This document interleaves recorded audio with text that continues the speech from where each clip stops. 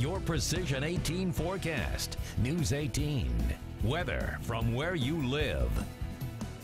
Well, it's been breezy, but not really windy like it was yesterday. We had peak gusts at the station of 26 miles an hour today, 22 Peru and 22 at Attica. And it's still a little breezy out there tonight, but not as bad as it was earlier. And you know, warmed up today. We had a high of 54 degrees here at the station. It's 52 now. 50 Burlington, upper 40s though Logansport to Peru, and 51 Crawfordsville, 53 at Attica, as well as Pine Village. As we head through the evening here into the overnight, 47 by 8, by midnight 36, and we'll go mostly clear. Winds diminishing even a little bit more with a low temperature upper 20s to right around 30 degrees. It is going to warm up a little bit. In fact, really from the weekend into next week, uh, the temperatures are generally going to run near normal, if not a little bit above normal. Pretty breezy, especially now through Sunday.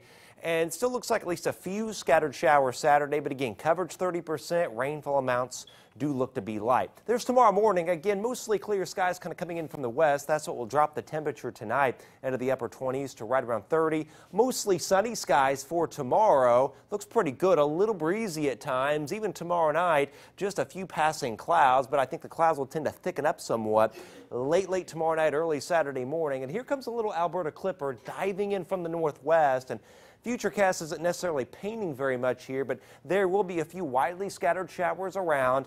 I would suspect late Saturday afternoon, and a couple may linger perhaps into Saturday night, very early Sunday. But the key here is light and widely scattered. Tonight, though, 28 Lafayette, 28 for the low Fowler, 30 Burlington, 31 Kokomo down to Atlanta.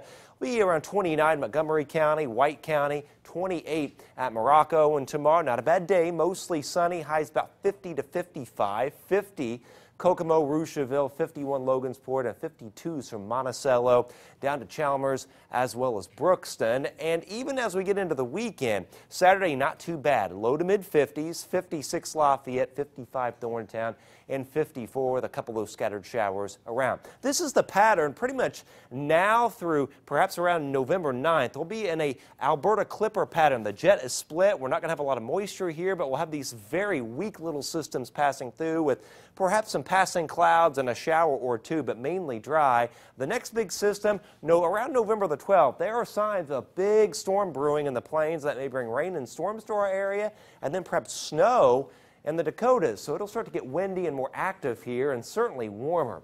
56 Saturday, though, 55 on Sunday, and then warming up. In fact, we're up to 58 by Tuesday and 63 on Thursday.